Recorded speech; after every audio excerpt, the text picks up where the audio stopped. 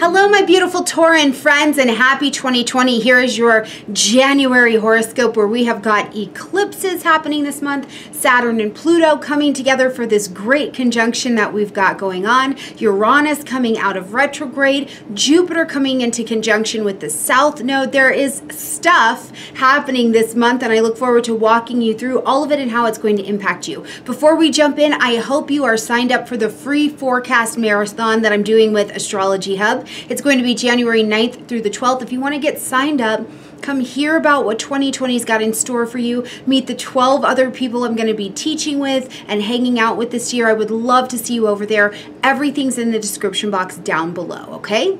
All right, so jumping off right here at the beginning of the month, what we're going to see is that you see that this ninth house up here, all this Capricorn energy is loaded. So as we cross this bridge from 2019 into 2020, one of the things I want you to keep in mind, and I say this in the um, annual video as well if you haven't had a chance to watch that, is that what is happening right here in January is what has been happening in 2019. Nothing really new is on the surface or on the table right now. So we've seen these things. We've been interacting with these things at least since December, and we will continue on with them. But we're going to have old things in our lives, the same old situation, with brand new actions, brand new attitudes, brand new solutions to them. That's what we're coming across with with 2019. And so we start off in January on the 2nd with Mercury and Jupiter being in a conjunction up here in this ninth house. Now, the ninth house is all about publishing broadcasting, marketing, getting yourself out there, expanding in some way, shape, or form. It's about faith, your philosophies, beliefs, and ideas around life, religion, ceremony, tradition. It's also a wonderful house of international business, travel, law, all of these kinds of things will end up falling into this ninth house place. Now, as Jupiter is the home ruler traditionally of the ninth house in the natural zodiac, one of the things that I keep in mind with Jupiter and um, Mercury coming together here is that these are communication energies. So in the ninth house, if you've got something legal that needs to be handled, this could be a time where you could start seeing um, correspondence on that, or you're doing you're doing something where there's conversation. Maybe. Um, you're doing something around school, education, publishing that book, getting those videos ready to put out there. Um, you're having a conversation at some kind of international level, whatever it is. Mercury and Jupiter together are going to expand conversation. They're going to expand business dealings. They're going to just expand the communication that is happening for you that very much so has you expanded out in the world, okay? Now, when we get to January 3rd, we see Mars, who's been in Scorpio, and he's going to leave this very comfortable domicile kind of place for himself and move up here into the energy of Sagittarius, so lighting up your eighth house space. Now, when Mars comes into the eighth house, which is about joint things, joint resources, intimacy, sex, fear, astrology, anything where you're getting at a deeper level, counseling, debt, finances live here as well. So with Mars here in the eighth house, you could be taking care of eighth house things. Now, I don't know about you, Taurus, but for me, I have my taxes done every year by January 16th. And so we're here in January, and maybe if you don't have that level of hustle on you, that's fine. But Mars could be helping you take care of those things. Mars could also be helping you in a relationship. If your relationship's been in a little bit of a slump, this energy is very, very helpful to you. I do love Mars here for taking the action of studying, seeking knowledge. Remember, this is Sagittarian energy, so he wants to know things. Sagittarius likes to gather information and share information. So, any place that you need to handle business, in a relationship, in counseling, in your money, anything like that where information is needed to take action on and be shared, Mars is going to definitely help you out here. And it'll help you meet the right people to help you get things done, okay?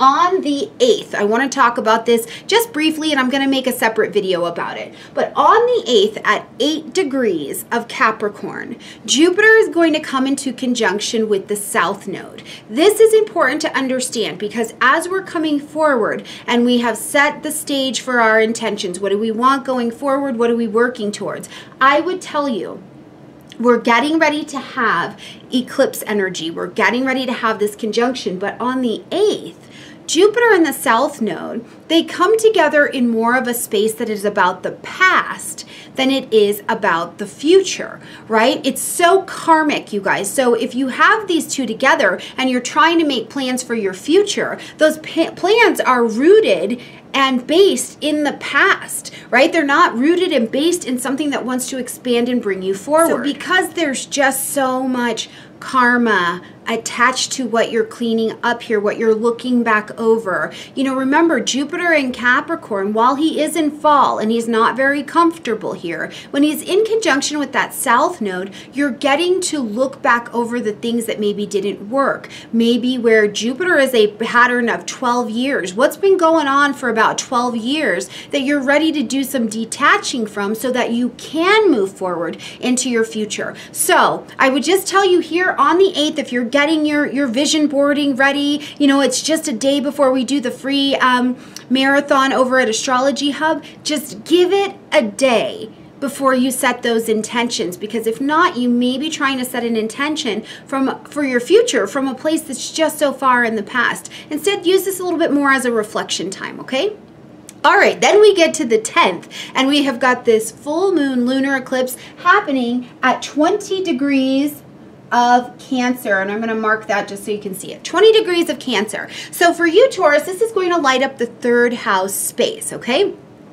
Now, the lunar eclipses, eclipses are sometimes really hard times to set these firm intentions because we're doing such big sweeping out and cleaning and getting things adjusted. But at this lunar eclipse, it's a great time where you're going to see that things are going to come to an end. Something's going to need to be adjusted, um, or you're going to have to acknowledge something that's been going on in this third house area, and you can take some action on it in the next six months. One of the things that keeps coming up for me because this is nice movement between your third and ninth houses that maybe some of you are starting to truly write those books write those blogs, write courses, write something down. Maybe you're even just starting journaling as you're along this astrological journey. Something about it, and it's going to help you expand out, expand your thinking, expand your reach, expand your ideas in some way, shape, or form. The other thing, just in general, in the third house, we do learning here. Are you starting a new course of study or getting ready to in the next coming months? Remember, you have six months for this to play out, right?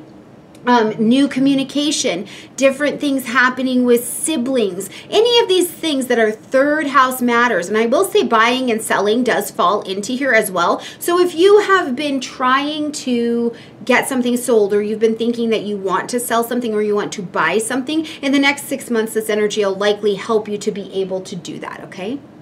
All right, we get to the 11th. Now, the first thing that's going to happen on the 11th is our friend Uranus, who is here and has been retrograde, is going to come out of retrograde. And Taurus, it's in your sign, which means for the next seven years, you basically have no chill, right? Uranus is a stubborn energy. Taurus, you are a stubborn energy, and we put you two together, and this is stubborn, but you're getting different. Taurus, how many of you have changed your body? Something very significant has changed for you because Uranus comes in and says, Taurus, you're beautiful. We love your show, but we need to adjust. We need to freshen up here. I got to get you out of this rut so that you can be the Taurus that is going to live in this future life life and plans that you've been working on. It's so great. I just remember hearing this thing where it said, How did you build the statue of David? And he said, I didn't. I just chipped away all the pieces that weren't David. And that's exactly what I think about with Uranus and Taurus. Uranus is coming and is chipping away those pieces that aren't Taurus anymore. You don't need them anymore. So with Uranus out of retrograde here, Reflection, reflection, reflection is what has been going on. You've been relooking over things from the past. You've been relooking over you, your identity, the way that you do things, your external environments where you live. All of these things have been under review at least since August, okay? And now that Uranus is out of retrograde, you're going to move yourself forward. You're going to move into different circles. You're going to move in the exact same circles in a different way. It just really lights up this energy of being able to be innovative. And the innovation has happened to you yourself, Taurus, which will, of course, impact every other area here, especially since Uranus is technological and we're telling you to get out there and to expand into the world. What better way to do that than with technology?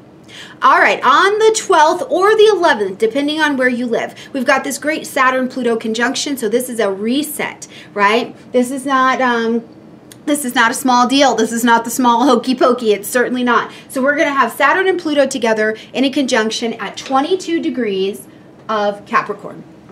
Okay, so because Saturn and Pluto, when they come together, creates this slow evolutionary change, what it can feel like is happening in this area is Pluto is saying, okay, Taurus, I need you to die off in this area. We can't live this way anymore, right? I need you to kind of um, become that phoenix. I need you to die off and, and, go to your ashes and then rise again, right? And then Saturn saying, Yes, and I'm going to take you to the next level. I'm going to show you how to advance this area of your life, and I'm going to show you between the two of us where you need to concentrate your efforts and increase your efficiency, increase your maturity, increase your earning and wealth success power, right? So as these two come together in their conjunction up here, they are resetting this area of your life for the next 34 years. So think about that as you're making these changes. And what it can feel like with Saturn and Pluto conjuncting like this is it can feel like loss it can feel like something has been sucked out or been pulled out. For some of you, depending on your chart, it'll feel like, oh, this is my saving grace. But for many, it will feel like loss. And the loss is showing you where to focus your attention and be more efficient.